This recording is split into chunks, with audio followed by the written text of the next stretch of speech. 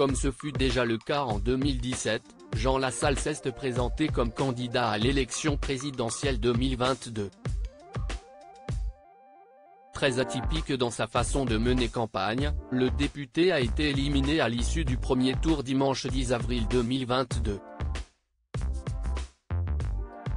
Jean Lassalle a tout de même réussi l'exploit d'améliorer son score de 2017, étant donné qu'il a récolté plus de 3% des voix, se classant ainsi devant le candidat du Parti communiste, Fabien Roussel, mais aussi devant la candidate du Parti socialiste, Anne Hidalgo.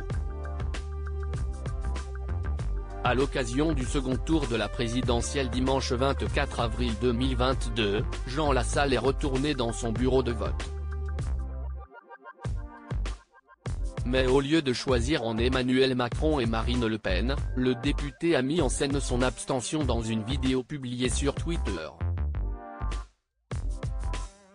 En fait, le candidat malheureux du premier tour était sur le point de glisser son bulletin dans l'urne, avant de finalement de raviser, et donc pas conséquent de s'abstenir.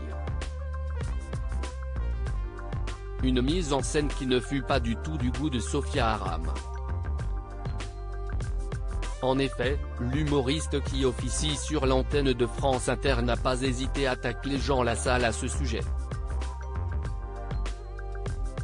Je n'aille jamais vu un spectacle aussi con, ni un con aussi spectaculaire, a-t-elle écrit sur Twitter. Sophia Aram à Jean Lassalle, votre petite mise en scène est illégale après avoir pris connaissance de ce tweet, Jean Lassalle a décidé de répliquer.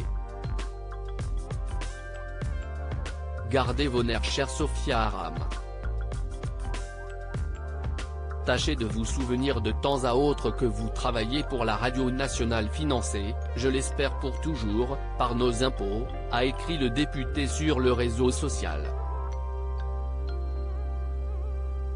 Merci pour vos conseils, n'oubliez pas non plus que le secret du vote est garanti par le respect des procédures électorales et qu'au-delà du ridicule, votre petite mise en scène est illégale, lui a rétorqué Sophia Aram en guise de réponse.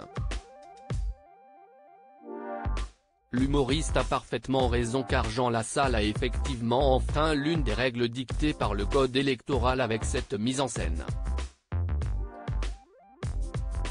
Ce code stipule que toute discussion ou délibération des électeurs est interdite à l'intérieur des bureaux de vote, souligne le Huffington Post. Loading Widget